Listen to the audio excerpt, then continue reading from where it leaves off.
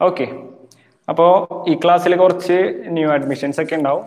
അപ്പൊ നമ്മൾ കഴിഞ്ഞ ക്ലാസ്സിൽ എന്തൊക്കെ പറഞ്ഞു വെച്ച് കഴിഞ്ഞാൽ ഫസ്റ്റ് ചാപ്റ്റർ ആയിട്ടുള്ള ലിവിങ് വേൾഡിന്റെ ഇൻട്രൊഡക്ഷനും അതിൽ തന്നെ ലിവിങ് ബീയിങ് എന്താന്ന് ഡിഫൈൻ ചെയ്തു. പിന്നെ നമ്മൾ ടാക്സോണമിയുടെ കുറച്ച് കാര്യങ്ങളൊക്കെ പറഞ്ഞു.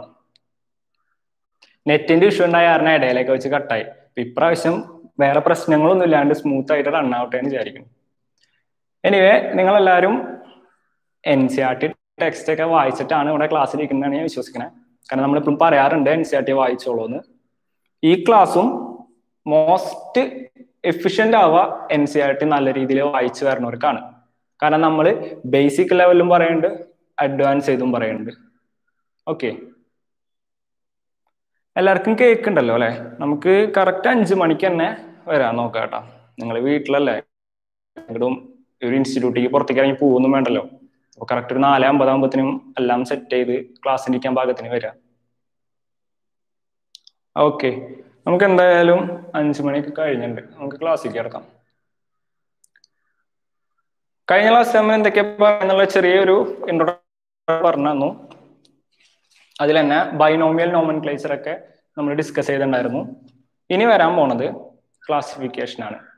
നമ്മൾ അന്ന് ഒരു ചോക്കിനെ വെച്ചിട്ട് പറഞ്ഞിരുന്നു. നമ്മൾ അതിനെ ഐഡന്റിഫൈ ചെയ്തു.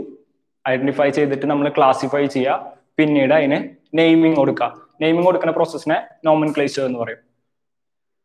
അപ്പോ ഈ നോമൻ ക്ലേച്ചർ ബൈനോമിയൽ നോമൻ ക്ലേച്ചറിനെ പറ്റിയിട്ട് നമ്മൾ ഒരുവിധം കാര്യങ്ങൾ അതിൽ ക്ലീൻ ആയിട്ട് തന്നെ പറഞ്ഞിട്ടുണ്ടായിരുന്നു. ഇനി ബാക്കി വരുന്നതാണ് ക്ലാസിഫിക്കേഷൻ ക്ലാസിഫിക്കേഷന്റെ ഓരോരോ ഡി ഹൈ ടാക്സോണമിക്കൽ ഹൈറാർക്കി ടാക്സോണമിക്കൽ എയ്ഡ്സ് ഇത്രയും കാര്യങ്ങൾ അതിൽ വരുന്നുണ്ട്. പിന്നെ നമുക്ക് എൻ സി ടി ടെക്സ്റ്റിലുള്ള പോലെ സ്പീഷീസ് ജീനസ് ഫാമിലി ഇത്തരം കാര്യങ്ങളൊക്കെ. പിന്നെ ലാസ്റ്റ് ഭാഗത്തേക്ക് വരുമ്പോൾ ടാക്സോണമിക്കൽ എയ്ഡ്സ് നമ്മളെ സൂ മ്യൂസിയം കീ ഇത്രയും കാര്യങ്ങളാണ് ഇന്ന് നമ്മൾ പറയണത്. ഓക്കെ ഇതൊക്കെ വൃത്തിയായിട്ട് തന്നെ പറയും നല്ല രീതിയിൽ കേട്ട് മനസ്സിലാക്കുക. അപ്പോൾ എൻ സി ആർ ടി നിങ്ങൾ ഒപ്പം തന്നെ വെക്കുക. ഞാൻ പറയുന്ന കാര്യങ്ങളൊക്കെ അതിലുണ്ടോ എന്നുള്ളത് കറക്റ്റായിട്ട് ചെക്ക് ചെയ്യുക. വേണ്ട ഒരു നോട്ട് ചെയ്തെടുക്കുക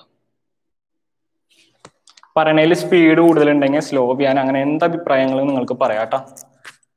ഓക്കെ നമുക്ക് സ്റ്റാർട്ട് ചെയ്യാം. അപ്പോ ക്ലാസിഫിക്കേഷൻ ലിവിങ് ഓർഗാനിസത്തിനെ നമ്മൾ തരം തിരിച്ചു വെച്ചിട്ടുണ്ട്. പഠിപ്പി പഠിക്കാനായിട്ട് നമ്മൾ മൊത്തം വേൾഡിലുള്ള ലിവിങ് ഓർഗാനിസത്തിനെ ക്ലാസിഫൈ ചെയ്തു. ഈ ക്ലാസിഫിക്കേഷൻ പ്രോസസ്സ് നിങ്ങൾ ചെറുപ്പത്തിൽ പഠിച്ചിട്ടുള്ള പോലെ ഫൈവ് കിങ്ഡം ക്ലാസിഫിക്കേഷൻ ഉണ്ട്.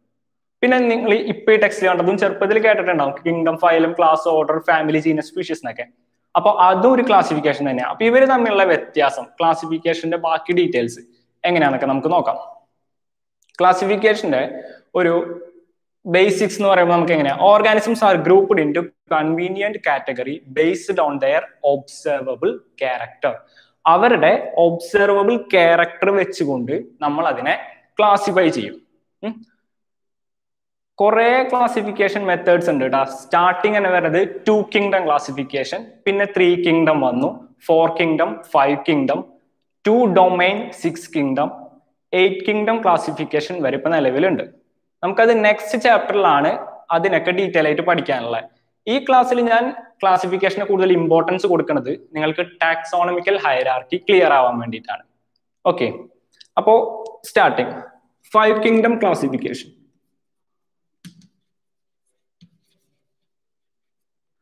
five kingdom ക്ലാസിഫിക്കേഷനിൽ നമ്മൾ ചെറുപ്പം തൊട്ട് പഠിച്ചിട്ടുള്ള കാര്യം തന്നെയാണ്. ഏതൊക്കെയാ വേറെ Monera Protista fungi Animalia plant അഞ്ച് കിങ്ഡങ്ങളാക്കിയിട്ട് വോൾ ലിവിങ് ഓർഗാനിസത്തിനെ നമ്മൾ ക്ലാസിഫൈ ചെയ്തു. ഇതിൽ അനിമൽസ് ആയിട്ട് വരുന്ന എല്ലാവരും കിങ്ഡം അനിമാലിയൽ പ്ലാന്റ് ഗ്രൂപ്പിൽ പെടുന്നവരൊക്കെ കിങ്ഡം പ്ലാന്റേ പിന്നെ ഫംഗസുകളൊക്കെ കിങ്ഡം ഫംഗയിൽ മോണീറൻസ് എന്ന് പറയുന്നത് വളരെ മൈന്യൂട്ട് ആയിട്ടുള്ള മൈക്രോ ഓർഗാനിസംസ് അഥവാ ബാക്ടീരിയാസ് ഈ മോണീറൻസിലും ഫംഗസിലും പെടുത്താൻ പറ്റാത്ത ആൾക്കാരെ നമ്മൾ സെപ്പറേറ്റ് ഗ്രൂപ്പാക്കി അവരെ പറഞ്ഞതാണ് പ്രോട്ടിസ്റ്റ ഓക്കെ ഈ പ്രോട്ടിസ്റ്റ എന്ന് പറയുന്നത് വളരെ കോംപ്ലക്സ് ആയിട്ടുള്ള ഒരു കിങ്ഡാണ് നമുക്ക് അതിനെപ്പറ്റി അത്ര ധാരണയില്ല. അതുകൊണ്ടാണ് പിന്നീട് സിക്സ് കിങ്ഡോം എയ്റ്റ് കിങ്ഡോം വരെ എത്തിയത്. ഓക്കെ അതിലെന്താണെന്ന് വെച്ച് കഴിഞ്ഞാൽ ഈ പ്രോട്ടിസ്റ്റ് ഫർദർ ഡിവൈഡ് ചെയ്ത് പുതിയ പുതിയ കിങ്ഡംസ് ഒക്കെ ആയിട്ട് മാറും. ആ പഠിക്കാൻ എളുപ്പത്തിന് വേണ്ടിയിട്ട് നമ്മൾ പിന്നെയും ഡിവൈഡ് ചെയ്ത് കൊണ്ടുപോകും. പിന്നെ ഒരു എക്സാമ്പിൾ പറയാം. നമ്മളൊരു ലൈബ്രറിയിൽ ചെന്നു. അവിടെ കുറെ ബുക്സ് ഉണ്ട്. എന്തൊക്കെയൊക്കെ അവർ ക്ലാസിഫൈ ചെയ്തിട്ടുണ്ടാവും? Non fiction fiction Malayala literature biography അതുപോലെ ക്ലാസിഫൈ ചെയ്ത് വെച്ചിട്ടുണ്ടാവും. അപ്പൊ നമുക്ക് ഓട്ടോ ബയോഗ്രഫി ആണെങ്കിൽ നമ്മൾ ഒരു സെക്ഷനിൽ പോയി കഴിഞ്ഞാൽ അവിടെ അത് ഉണ്ടാവും അതുപോലെ ലിവിങ് ഓർഗാനിസത്തിനെ നമ്മൾ എന്ത് ചെയ്തു? അനിമാലിയ നമുക്ക് വേണം. അപ്പോൾ കിങ്ഡം അനിമാലിയയിൽ പോയി കഴിഞ്ഞാൽ അത് കിട്ടും. കിങ്ഡം പ്രോട്ടിസ്റ്റ അപ്പൊ നമ്മളിപ്പോ പറയാൻ പോണത് ഫൈവ് കിങ്ഡം ക്ലാസിഫിക്കേഷൻ ഏതൊക്കെയാ? Monerans Protist fungi plant and Animalia അഞ്ച് കിങ്ഡംസ് ആക്കി തിരിച്ചു. അപ്പൊ നിങ്ങൾ ആലോചിക്കുക കിങ്ഡം അനിമാലിയ എടുത്തു ഇഷ്ടംപോലെ ഓർഗാനിസംസ് വരുന്നുണ്ട്. ആംഫിബിയൻസ് റെപ്റ്റേലിയൻസ് മാമൽസ് പിന്നെ ഏവ്സ് അപ്പൊ ഇവരൊക്കെ പറഞ്ഞത് ഏതിൽ തന്നെയാ കിങ്ഡം അനിമാലിയയിൽ തന്നെയാ ഇതൊക്കെ പോരാതെ നമ്മളെ നിലത്ത് കാണുന്ന ഉറുമ്പ് പഴുതാര പാറ്റ പല്ലി ആന തിമ്മിങ്കലം ഇവരെല്ലാരും വരുന്നത് കിങ്ഡം മേലെയാണ് അപ്പോ ഇവരെല്ലാരും കൂടി ഒരു ഒറ്റ കിങ് ആക്കി കഴിഞ്ഞാൽ നമുക്ക് അതിന്റെ ഉള്ളിൽ തന്നെ വീണ്ടും ക്ലാസിഫൈ ചെയ്യേണ്ടതായിരിക്കണം. ഫർദർ ക്ലാസിഫിക്കേഷൻസ് എങ്ങനെ വരും അപ്പോ? അപ്പൊ നമ്മൾ ഫൈവ് കിങ്ഡം പറഞ്ഞു. അത് കഴിഞ്ഞിട്ട് അതിലെ അഞ്ച് കിങ്ഡംസ് ഏതൊക്കെയാന്ന് പറഞ്ഞു. ഈ അഞ്ച് കിങ്ഡംസും വന്നപ്പോ പിന്നീട് നമുക്ക് അതിനെപ്പറ്റി പഠിക്കുമ്പോൾ നമുക്ക് കൂടുതൽ ക്ലാസിഫൈ ചെയ്യേണ്ട ആവശ്യമുണ്ട് അപ്പൊ നമ്മൾ എന്തൊക്കെയാക്കി തിരിച്ചു? കിങ്ഡത്തിനെ ഫർദർ ഡിവൈഡ് ചെയ്തു. ഫൈലം. ഒരു കിങ്ഡം അനിമാലി എടുത്തു നമ്മൾ കിങ്ഡം അനിമേലിയയിൽ ഞാൻ നേരത്തെ പറഞ്ഞ പോലെ പാറ്റ പല്ലി ഉറുമ്പ് ആന എല്ലാവരും ഉണ്ട്. അപ്പൊ നമുക്ക് അവരെ ഫർദർ ക്ലാസിഫൈ ചെയ്യാനായിട്ടാണ് ഫൈലം വന്നേക്കണേ. ഫൈലത്തിൽ ആരൊക്കെ ഉണ്ടാവും? പതിനൊന്ന് ഫൈലംസ് ഉണ്ട് നമുക്ക് പഠിക്കാനായിട്ട്. അനിമൽ കിങ്ഡം എന്ന് പറയുന്ന ഫോർത്ത് ചാപ്റ്ററിൽ നമുക്ക് ഈ കാര്യങ്ങൾ കംപ്ലീറ്റ് ഡീറ്റെയിൽ ആയിട്ട് എല്ലാ ഫൈലത്തിനെ പറ്റിയും പഠിക്കാം. അപ്പൊ അതൊന്നും ഞാനിവിടെ പറയുന്നില്ല. ഫൈലത്തിൽ ഒരു എക്സാമ്പിൾ ആയിട്ട് നിങ്ങൾക്ക് എന്തെടുക്കാം? കോഡേറ്റ് കോഡേറ്റ് എന്ന് പറയുമ്പോൾ നട്ടലുള്ള ജീവികൾ വെർട്ടബിൾ കോളം പ്രസന്റ് ആയിട്ടുള്ള ജീവികൾ. അവരാണ് കോഡേറ്റ്സിൽ വരാം. അതിൽ തന്നെ വെർട്ടിബ്രേറ്റ് ഉണ്ട് യൂറോ കോഡേറ്റ് ഉണ്ട് സെഫാലോ കോഡേറ്റ് ഉണ്ട്. ഇതൊക്കെ നമുക്ക് ഫോർത്ത് ചാപ്റ്ററിൽ ഡെപ്തിൽ പഠിക്കാനുണ്ട്. അപ്പൊ നമ്മൾ കിങ്ഡം പോലത്തെ ഒരു വലിയ ഗ്രൂപ്പ് അതിനെ പിന്നീട് മനസ്സിലാക്കാൻ വേണ്ടിയിട്ട് നമ്മൾ എന്ത് ചെയ്തു? ചെറിയ ചെറിയ കാറ്റഗറീസ് ആക്കി മാറ്റി. അപ്പൊ ആദ്യത്തെ കാറ്റഗറി ആണ് കിങ്ഡം. രണ്ടാമത്തെ കാറ്റഗറി ആണ് ഫൈലം. അപ്പൊ ഫൈലം കോർഡേറ്റിൽ തന്നെ ഇഷ്ടം പോലെ വരും. അപ്പൊ നമുക്ക് അതൊന്നും പോരാണ്ടാകുമ്പോൾ നമ്മൾ ഉള്ളിലേക്ക് ഉള്ളിലേക്ക് ചെറിയ ചെറിയ ഗ്രൂപ്പുകളാക്കി കൊണ്ടുവരും. ഓരോ ഓരോ കാറ്റഗറീസ് ഫൈലം കഴിഞ്ഞാൽ ക്ലാസ് ക്ലാസ് കഴിഞ്ഞാൽ order after that family. Genus and species. ഇതിലെ ബൈനോമിയൽ നോമൻക്ലേച്ചറിൽ നമ്മൾ ഇവരെ രണ്ടുപേരാണ് യൂസ് ചെയ്യുക ജീനസ് നെയിമും സ്പീഷ്യസ് നെയിമും ഓക്കെ ഇത് ഓരോന്നും ഈ ഓരോന്നിനെ നമ്മൾ പറയുന്ന പേരാണ് കാറ്റഗറി കിങ്ഡം എന്ന് പറയുന്ന കാറ്റഗറി അത് അനിമാലിയ അതിൽ തന്നെ ഫൈലം കാറ്റഗറിയിൽ ആരൊക്കെ ഉണ്ട് കോഡേറ്റ് ഉണ്ട് യൂറോ കോഡേറ്റ് ഉണ്ട് സെഫല കോഡേറ്റ് ഉണ്ട് അങ്ങനെ കുറെ വരുന്നുണ്ട്. പിന്നെ ക്ലാസ് ആക്കി ഓർഡർ ആക്കി ഫാമിലി ആക്കി ജീനസ് സ്പീഷീസ് വരെ നമ്മൾ തരംതിരിച്ചു വെച്ചു. ഇതാണ് ഏഴ് ഒബ്ലിഗേറ്റ് കാറ്റഗറീസ് ഇമ്പോർട്ടന്റ് ആയിട്ടുള്ള ഏഴ് കാറ്റഗറിയാണ് ഇതൊക്കെ. Kingdom phylum class order family genus species clear നമ്മളെ N C R T text ബുക്കിൽ ഇതല്ലാണ്ട്. നമ്മളെ ബോർഡ് എക്സാമിനും ഇത് തന്നെയാണ് നിർബന്ധം. പക്ഷെ ഇവിടെ കൊണ്ട് ഒതുങ്ങില്ല എൻട്രൻസിന് ഇതിന്റെ ആക്ച്വൽ രൂപീകരിക്കുന്നത് ഇരുപത്തിമൂന്ന് കാറ്റഗറീസ് ആണ്. ഓക്കെ ഈ ഇരുപത്തിമൂന്ന് കാറ്റഗറീസിലെ ഇമ്പോർട്ടന്റ് ആയ ഏഴെണ്ണാണ് നമ്മളിവിടെ എടുത്തിട്ടുള്ളത്. പുതിയതായിട്ട് രണ്ട് പേര് ആഡ് ചെയ്തിട്ടുണ്ട്. അത് ഇരുപത്തിമൂന്നിൽ ഇൻക്ലൂഡഡ് ആണ്. ആരൊക്കെയെന്ന് വെച്ച് കഴിഞ്ഞാൽ കൊഹേർട്ട് ക്ലാസിന്റെയും ഓർഡറിന്റെയും ഇടയിൽ കൊഹേർട്ട് എക്സ്ട്രാ വരും. പിന്നെ ഫാമിലിയുടെയും ജീനസിന്റെയും ഫാമിലിയുടെയും ജീനസിന്റെ ഇടയിൽ ട്രൈബ് ഇത് രണ്ടും നമ്മൾ എൻട്രൻസ് പോയിന്റിൽ പഠിക്കേണ്ടതാ. അപ്പൊ ആരൊക്കെ വരണേ?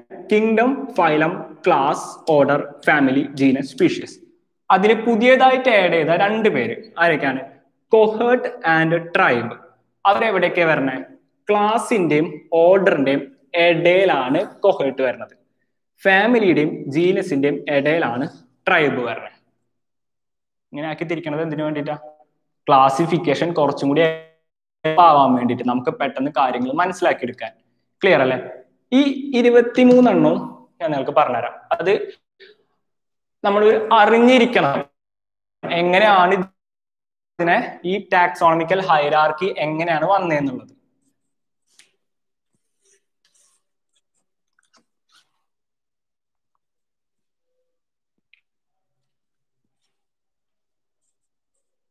ശ്രദ്ധിച്ചോളൂ കേട്ടോ ഫസ്റ്റ് വരുന്നത് ഡൊമെയിൻ കിങ്ഡത്തിന്റെ മുകളിലാണ് ഡൊമെയിൻ വരിക ഡൊമെയിന് വേറൊരു പേരുണ്ട് എംപയർ അത് നോക്കണ്ട. അപ്പൊ ഡൊമെയിൻ എന്ന് പറഞ്ഞു രണ്ടാമത്തെ കിങ്ഡം നമ്മൾ നേരത്തെ ഒബ്ലിഗേറ്റ് കാറ്റഗറിയിൽപ്പെട്ട കിങ്ഡം ആണ്. പിന്നെ സബ് കിങ്ഡം കിങ്ഡത്തിന് താഴെ ഒരു ഗ്രൂപ്പാക്കി തിരിച്ചു. പിന്നീട് ഫൈലം സബ് ഫൈലം ഓക്കെ ഇതുപോലെ ക്ലാസിഫൈ ചെയ്ത് ഡൗൺ ഡൗൺ പോയിക്കൊണ്ടിരിക്കും. ഞാൻ എഴുതി കാണിച്ചുതരാം കഴിഞ്ഞു കഴിഞ്ഞാൽ സൂപ്പർ ക്ലാസ് ആണ് പിന്നീട് വരാം. സൂപ്പർ ക്ലാസ് പിന്നീട് ക്ലാസ് അതിന് താഴെ സബ് ക്ലാസ് അതിന്റെയും താഴെ ഇൻഫ്രാ ക്ലാസ് എൻട്രൻസിന് നമുക്ക് ഇതൊക്കെ ഇമ്പോർട്ടന്റ് ഉള്ള കാര്യം കേട്ടോ domain kingdom sub kingdom phylum sub phylum super class class sub class infra class ഇത് കഴിഞ്ഞാൽ പിന്നെ വരുന്നതാണ് കോഹേഡ് ആൾക്ക് പിന്നെ സൂപ്പറും ഇൻഫ്രയും ഒന്നുമില്ല സബും ഇല്ല. അപ്പോ കോഹേർട്ട് കോഹേർട്ട് കഴിഞ്ഞു കഴിഞ്ഞാൽ ഓർഡറിലേക്ക് super order super order order sub order infra order അത് കഴിഞ്ഞ് കഴിഞ്ഞാൽ പിന്നെ വരും family super family family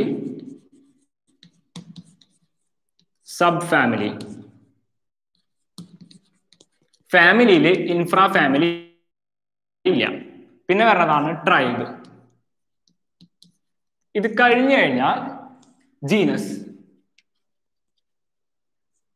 genus കഴിഞ്ഞാൽ സബ് ജീനസ് പിന്നെ വരുന്നതാണ് സ്പീഷ്യസ് പിന്നെ സബ് സ്പീഷ്യസ് ഇത്രയും ഇരുപത്തിമൂന്ന് കാറ്റഗറീസ് ഉണ്ട്. ഇതൊക്കെ എന്താണ്? ടാക്സോണമിക്കൽ കാറ്റഗറീസ്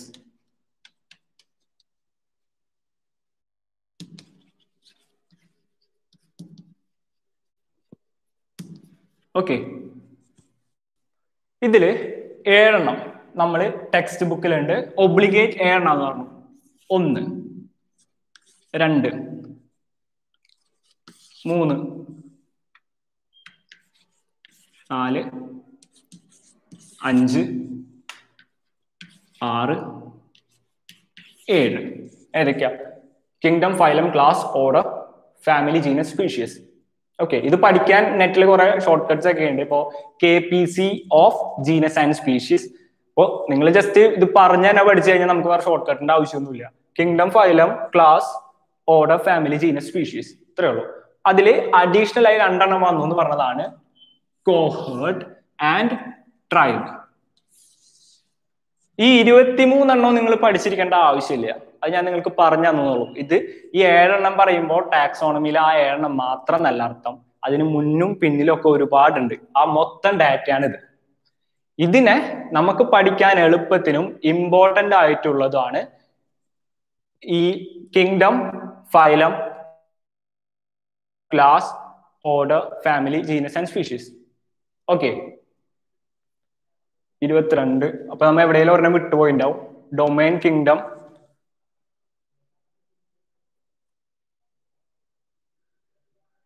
സബ് ട്രൈബ് എഴുതിയ? ആ യെസ് സബ് ട്രൈബ് നമ്മൾ എഴുതാൻ വിട്ടുപോയിണ്ടായി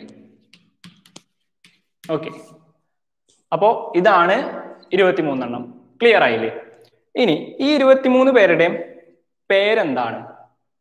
കാറ്റഗറി ടാക്സോണമിക്കൽ കാറ്റഗറി ഓക്കെ ഇനി നമുക്ക് എന്തുണ്ട്? ടെക്സ്റ്റിൽ ഒരു വാക്കുണ്ട്. ടാക്സോൺ ഓർ ടാക്സ ഞാൻ വിട്ടുപോയിരുന്നത് സബ് ട്രൈബ് ആണ് കേട്ടോ ട്രൈബിന്റെ താഴെയുള്ള സബ് ട്രൈബ് അത് കഴിഞ്ഞിട്ടാണ് ജീനസ് സ്റ്റാർട്ട് ചെയ്യണേ. ഓക്കെ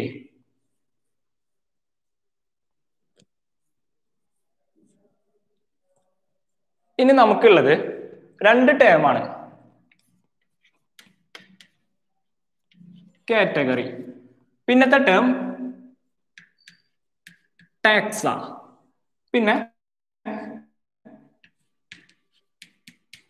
ടാക്സോണമി ഇതിന്റെ മൂന്നിന്റെയും ഡെഫിനിഷൻസ് നമ്മളെ എൻ സി ആർ ഉണ്ട് ടെക്സ്റ്റ് ബുക്കിലുണ്ട് പക്ഷെ അത് വായിച്ചാൽ മനസ്സിലാവാൻ കുറച്ച് ബുദ്ധിമുട്ടാണ് കാരണം അവരുടെ ലാംഗ്വേജ് കുറച്ച് ഡിഫിക്കൽട്ട് ആയതുകൊണ്ട് തന്നെ.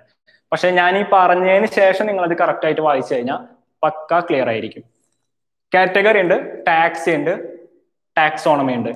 നമുക്ക് ഡിഫൈൻ ചെയ്യാം ഏഴ് ഒബ്ലിക് കാറ്റഗറീസ് പറഞ്ഞോട്ടെ മനസ്സിൽ. ഏതൊക്കെയാണ്? Kingdom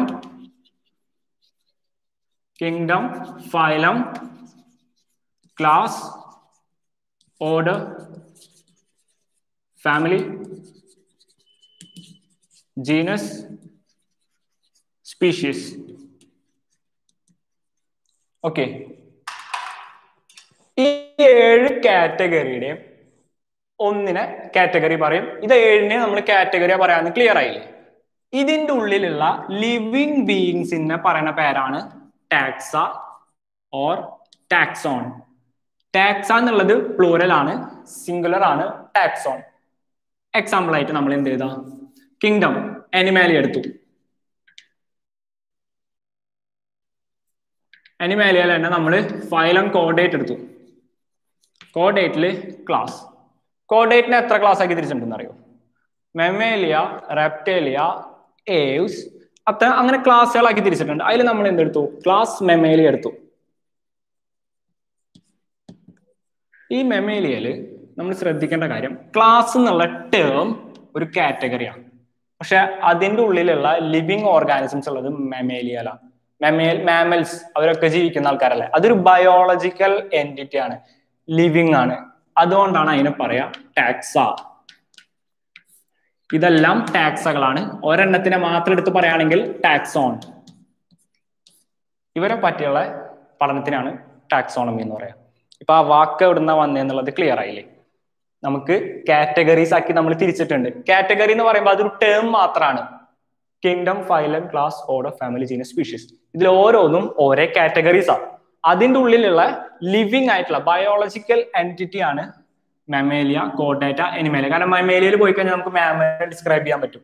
അപ്പോൾ ഇതിനെല്ലാത്തിനും നമ്മൾ പറയുന്നതാണ് ടാക്സ ഓരോന്നിനും പറയും ടാക്സോൺ ക്ലിയർ അത് കഴിഞ്ഞാൽ study of taxa taxon clear ആയില്ലേ? ഇത്രയും ഭാഗങ്ങൾ നിങ്ങൾക്ക് എൻ സി ആർ ടി ഇനി വായിച്ചു നോക്കി കഴിഞ്ഞു കഴിഞ്ഞാൽ പക്കയായിരിക്കും. നമ്മൾ എൻ സി ആർ ടിയിൽ പേജ് നമ്പർ ഒൻപതിൽ പേജ് നമ്പർ ഏഴിൽ ടാക്സ ഡിഫൈൻ ചെയ്തിട്ടുണ്ട് ക്ലാസിഫിക്കേഷൻ ഡിസ്ക്രൈബ് ചെയ്തിട്ടുണ്ട് ടാക്സോണമി ഡിസ്ക്രൈബ് ചെയ്തിട്ടുണ്ട്. അതിൽ ടാക്സോണമിയിൽ external and internal structure along with structure of cell and development process and ecological information of organism ആ മൊത്തം ലൈൻ നിങ്ങൾ വായിച്ചു നോക്കാട്ടാ ഒരു ടാക്സോണമിയിൽ നമ്മൾ ശ്രദ്ധിക്കേണ്ട കാര്യങ്ങളാണ് അതിൽ കൊടുത്തിട്ടുള്ളത്. ഇപ്പൊ ഞാൻ ആദ്യം തന്നെ നിങ്ങൾക്ക് എന്ത് പറഞ്ഞിട്ടുണ്ടായിരുന്നു ടാക്സോണമി എന്താന്ന് പറഞ്ഞു ടാക്സ് എന്താന്ന് പറഞ്ഞു കാറ്റഗറി എന്താന്ന് പറഞ്ഞു ഏഴ് ഒബ്ലീക് ടാക്സോണമിക്കൽ കാറ്റഗറി ഇതൊക്കെ എന്തിനാന്ന് ചോദിച്ചു കഴിഞ്ഞാൽ ഒറ്റ റീസൺ നമുക്ക് എല്ലാ ഓർഗാനിസത്തിനെയും ക്ലാസിഫൈ ചെയ്യാൻ പറ്റണം. ക്ലിയർ ആയിട്ട് ഇപ്പൊ നമുക്ക് വോൾ അനിമലെ ഗ്രൂപ്പ് എടുത്തു. അതിൽ മാമൽസ് ഏതൊക്കെയാന്ന് ചോദിച്ചു കഴിഞ്ഞാൽ നമുക്ക് കാറ്റഗറി ആയിട്ടുള്ള ക്ലാസ് എടുത്താൽ മതി. അതിന്റെ ഉള്ളിൽ നമുക്ക് അറിയാൻ പറ്റിയ ഏതൊക്കെയാണ് മാമൽസ് ഉള്ളത്. പിന്നെ മാമൽസിൽ തന്നെ വീണ്ടും കുറച്ച് കഴിഞ്ഞപ്പോൾ കാർണിവോഴ്സ് ഉണ്ട് ഹെർബിവോസ് ഉണ്ട്. കാർണിവോഴ്സ് ഓർഡർ പെടുക. ഓർഡർ കാർണിവോറ ഓർഡർ എന്താണ്? ഒരു കാറ്റഗറി കാർണിവോർ എന്താണ്? ടാക്സ ടാക്സോൺ ആണ്. അത് കഴിഞ്ഞാൽ ഫാമിലിക്ക് വന്നു ജീനസിക്ക് വന്നു സ്പീഷ്യസിക്ക് വന്നു. അപ്പൊ നമ്മൾ കുറേ കൂടി സ്പെസിഫിക് ആയി വരാണ്. സ്പീഷ്യസിൽ എത്തുമ്പോൾ സ്പെസിഫിസിറ്റി കൂടും. ഇതൊക്കെ എൻട്രൻസിനാണ് കൂടുതൽ ഇമ്പോർട്ടന്റ് ആയിട്ടുള്ളത്. സ്പെസിഫിസിറ്റി കൂടുതലായിരിക്കും സ്പീഷ്യസിൽ കിങ്ഡത്തിലോ കുറവായിരിക്കും. അപ്പോൾ ഇവിടെ നിന്ന് അങ്ങോട്ട് ഇൻക്രീസ് ആയി വരാണ് സ്പെസിഫിസിറ്റി സ്പെസിഫിസിറ്റി എന്ന് വെച്ച് കഴിഞ്ഞാൽ ഒരു സ്പീഷ്യസിലുള്ള രണ്ടാൾക്കാർ ഒരു പൂച്ചയും വേറൊരു പൂച്ച എടുത്തു. അവർ തമ്മിലുള്ള ക്യാരക്ടേഴ്സ് ഒരുവിധം മിക്കതും സെയിം ആയിരിക്കും. അവരുടെ external characters cellular structure genetics ഒക്കെ ഒരുവിധം സാമ്യമായിട്ട് വരും. അതുകൊണ്ടാണ് സ്പെസിഫിക് ആന്ന് പറയണത്. കിങ്ഡം എന്ന് പറയുമ്പോൾ ഒരു വോൾ ഗ്രൂപ്പായി അനിമേലിലുള്ള എല്ലാവരും പെടും. ഓക്കെ ഈ ഉറുമ്പും പാറ്റയും പല്ലിയും പൂച്ചയും ഇവരെല്ലാവരും പെടുന്നുണ്ട്. അപ്പൊ നമുക്ക് ഉറുമ്പിനുള്ള ക്യാരക്ടറാണ് പൂച്ചയ്ക്കുള്ളതെന്ന് പറയാൻ പറ്റില്ല അതുകൊണ്ടാണ് സ്പെസിഫിസിറ്റി സ്പീഷീസിലേക്ക് വരുന്നോറും കൂടി കൂടി വരും എന്ന് പറയുന്നത് രണ്ടാമത്തെ കാര്യം ജനറൽ ക്യാരക്ടേഴ്സ് കൂടുതൽ കിങ്ഡത്തിലായിരിക്കും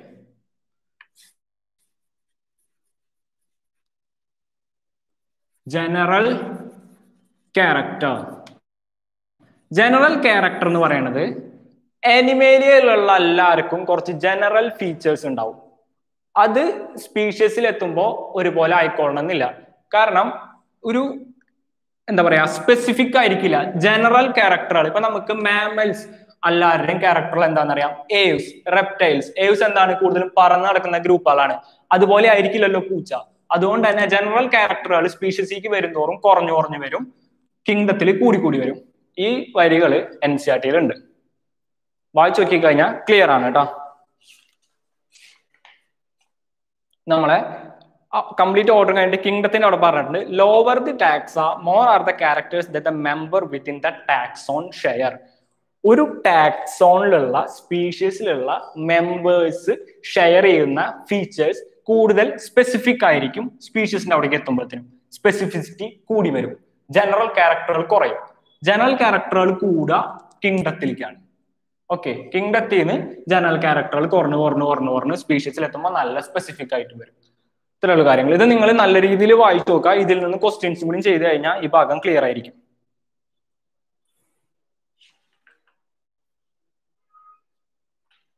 ഇപ്പൊ നിങ്ങൾക്ക് കാറ്റഗറി എന്താണ്? ടാക്സോൺ എന്താണ്? ടാക്സോണമി എന്താണ്? ഇത്രയും ഭാഗം ക്ലിയർ ആയില്ലേ? അതിൽ ഡൗട്ട് ഉണ്ടെങ്കിൽ ഇപ്പൊ തന്നെ ഒന്ന് ചോദിക്കൂ.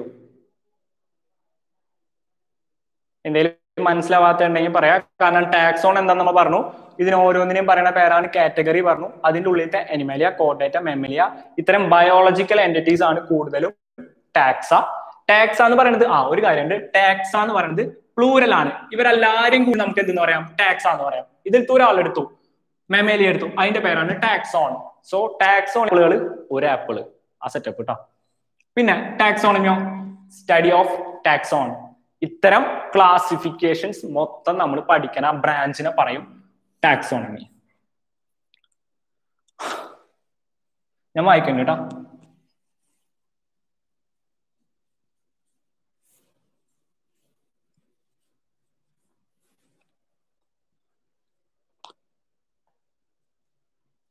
അടുത്തത്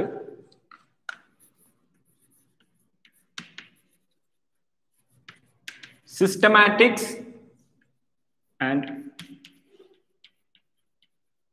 ടാക്സോണമി എന്താണ് ഇവർ തമ്മിലുള്ള വ്യത്യാസം? കഴിഞ്ഞ ക്ലാസ് ഞാൻ ചെറുതായി പറഞ്ഞിട്ടുണ്ടായിരുന്നു. ക്ലാസ് ഞാൻ ഒന്നുകൂടി ക്ലിയർ ചെയ്ത് പറഞ്ഞുതരാണ് ടാക്സോണമീനെ പറ്റി നമ്മൾ ഡീറ്റെയിൽ ആയിട്ട് ഇത്രയും നേരം പറഞ്ഞു. എന്തൊക്കെയാണ് ടാക്സോണമിക്കൽ കാറ്റഗറീസ് അതിലെ ടാക്സ് എന്താണ്? ഈ വോൾ പ്രോസസ്സാണ് ക്ലാസിഫിക്കേഷൻ ഓക്കെ ടാക്സോണമി ഉണ്ട് സിസ്റ്റമാറ്റിക്സ് ഉണ്ട്. ഏകദേശം രണ്ടുപേരും ഉദ്ദേശിക്കുന്നത് അനിമൽസിനെ ക്ലാസിഫൈ ചെയ്യാന്നുള്ളതാണ് ഈ രണ്ട് ടേമിന്റെ അർത്ഥം അനിമൽസിനെ ക്ലാസിഫൈ ചെയ്യാന്നുള്ളത് പിന്നെ ഇവർ എവിടെ കൊണ്ടാണ് ഇവർ വ്യത്യസ്തപ്പെട്ടിരിക്കുന്നത് സിസ്റ്റമാറ്റിക്സിൽ കൂടുതൽ ഇമ്പോർട്ടൻസ് കൊടുക്കുക ഒരു living ബീയിങ്ങിന്റെ diversity diversity evolutionary details or phylogenetic. ഈ എവല്യൂഷണറിയുടെ വേറൊരു പേരാണ് ഫയലോജനി പിന്നെ ഡൈവേഴ്സിറ്റി ഒരു ഓർഗാനിസം എടുത്തു. അതും അതിനെ ചുറ്റിപ്പറ്റിയുള്ള മറ്റ് ഓർഗാനിസങ്ങളിൽ നിന്ന് എങ്ങനെ അത് വ്യത്യസ്തപ്പെട്ടിരിക്കുന്നു? അതിന്റെ എവല്യൂഷണറി ഡീറ്റെയിൽസ് എന്തൊക്കെയാണ്? ആൻസിസ്റ്റേഴ്സിൽ നിന്നും എങ്ങനെ വ്യത്യ വ്യത്യസ്തപ്പെട്ടിരിക്കുന്നു? ഇത്തരം കാര്യങ്ങളാണ് കൂടുതൽ നമ്മൾ സിസ്റ്റമാറ്റിക്സിൽ നോക്കാം. ടാക്സോണമി ആവുമ്പോൾ theory and practical of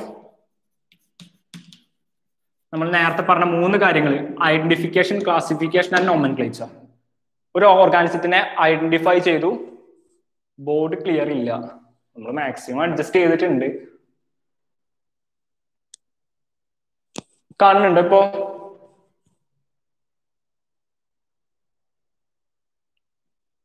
board clear ഇല്ല. അല്ല നിങ്ങളൊന്ന് അഡ്ജസ്റ്റ് ചെയ്യും ഇത്രയും നേരം ക്ലിയർ ആയിരുന്നോ?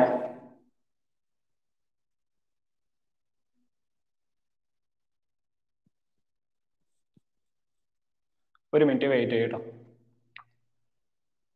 ആദ്യം ക്ലിയർ ഉണ്ടായിരുന്നു ഇപ്പൊ കാണുന്നില്ല. ഓക്കെ ഓക്കെ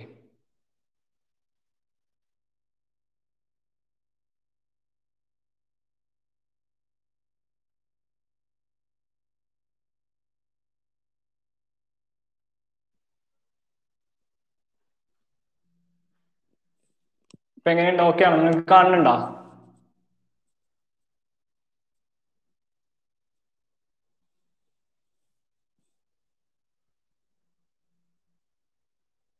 ഫയലോജനറ്റിക്സിന്റെ ആണോ? ഞാൻ ഇപ്പൊ ടൈപ്പ് ചെയ്തുതരാം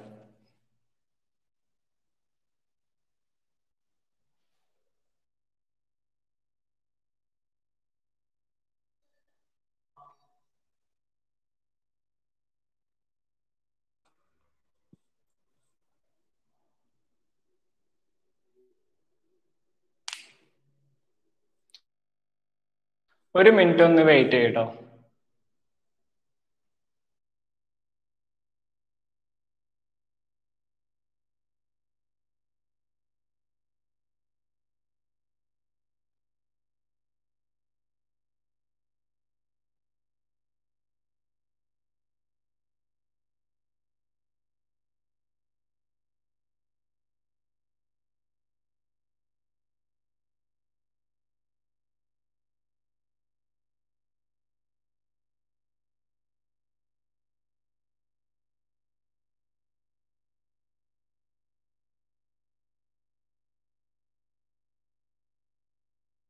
ഇപ്പൊ എങ്ങനെയാണ്? ബോർഡ് നിങ്ങൾക്ക് ക്ലിയർ ആവുണ്ടോ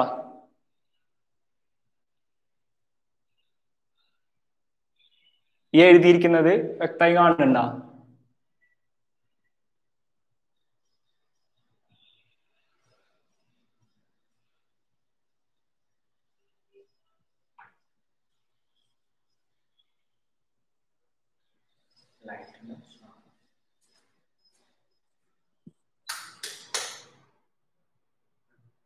ഫാൻ foi bom.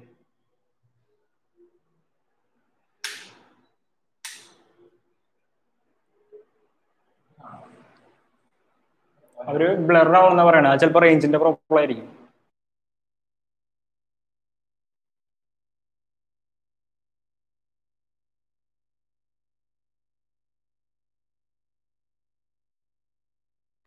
ഇപ്പൊ ക്ലിയർ ആവണ്ട നിങ്ങൾക്ക്? ഇപ്പൊ ബോർഡിലുള്ളത് ക്ലിയർ ആവണ്ട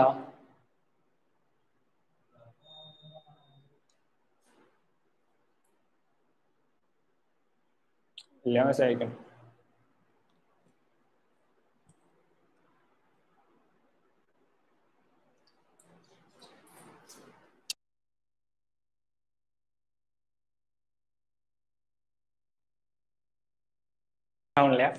എനിവേ നമുക്ക് ക്ലാസ് എടുക്കാം. ഈ എഴുതിയേക്കണത് നിങ്ങൾ നോക്കണ്ട. ഞാൻ പറഞ്ഞുതരാം. ഓക്കെ അപ്പോ പറഞ്ഞ രണ്ട് കാര്യങ്ങളാണ് സിസ്റ്റമാറ്റിക്സും ടാക്സോണമിയും ഒരു ഓർഗാനിസത്തിന്റെ എവല്യൂഷണറി ഡീറ്റെയിൽസ് അതും മറ്റ് ഓർഗാനിസംസും തമ്മിലുള്ള റിലേഷൻഷിപ്സ് എവല്യൂഷണറി ഡീറ്റെയിൽസും അതിന്റെ ഡൈവേഴ്സിറ്റിനെയും പറ്റി നോക്കുന്നതാണ് സിസ്റ്റമാറ്റിക്സ് ടാക്സോണമി വരുമ്പോഴോ കൂടുതലും നമ്മൾ അതിന്റെ ഐഡന്റിഫിക്കേഷൻ ക്ലാസിഫിക്കേഷൻ നോമൻ ഇത്രയും കാര്യങ്ങൾ. തിയററ്റിക്കൽ ആൻഡ് പ്രാക്ടിക്കൽ ഡീറ്റെയിൽസ് ആണ് കൂടുതലും ടാക്സോണമിയിൽ നോക്കുക. ഇപ്പൊ രണ്ട് കാര്യങ്ങളാണ് സിസ്റ്റമാറ്റിക്സും ടാക്സോണമിയും ക്ലിയർ അല്ലേ?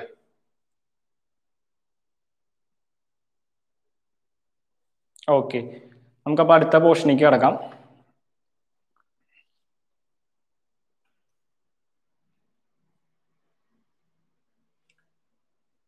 അടുത്താണ് ടാക്സോണമിക്കൽ എയ്ഡ്സ് നമ്മളെ ടെക്സ്റ്റ് ബുക്കിലുള്ള